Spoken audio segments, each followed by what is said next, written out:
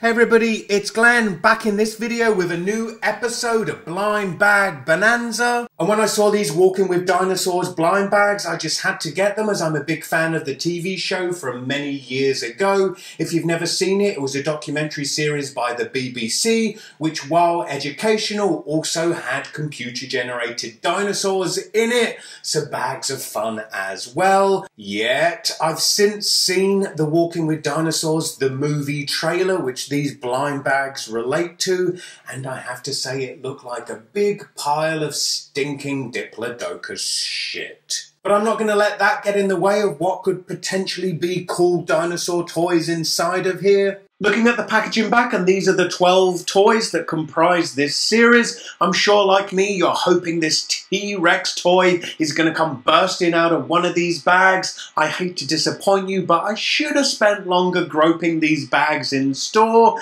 as now I've got them home, I've groped them good and proper, and I hate to break it to you, I can't feel anything T-Rex shaped inside either of them. Yet, let's hope it's one of these other cool dinosaur toys inside and not this primitive mammal weasel looking bullshit. I have my trusty scissors, so let's get to snip snipping. We get a. Oh, Jesus Christ. It seems we have Alphadon, the mammal weasel looking bullshit we were fearing.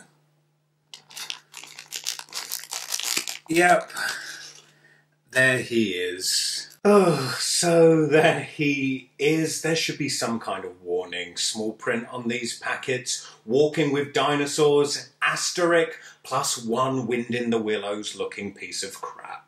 Let's get to it, and if this is that weasel guy in here, then I'm gonna impale myself on these scissors. Let's pull the card out.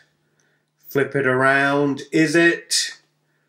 Phew, it's an actual dinosaur, bull dust. And here he is. He is missing a horn, having watched the trailer. I'm sure that means he overcomes that disability among various other odds because that's the kind of plucky dinosaur hero he is. The collectible card you get with the figures does give some information. He is a Patchi Pachyrhinosaur and we also get info down here such as his weight, running speed, length, etc., etc. I'm sure that's info that will get any dino fan wet in the pants. I have to say I'm enjoying this guy a lot more now he's the same size as an actual dinosaur.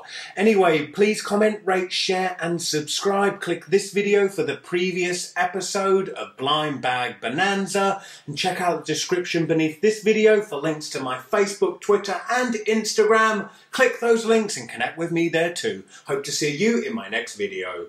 Bye.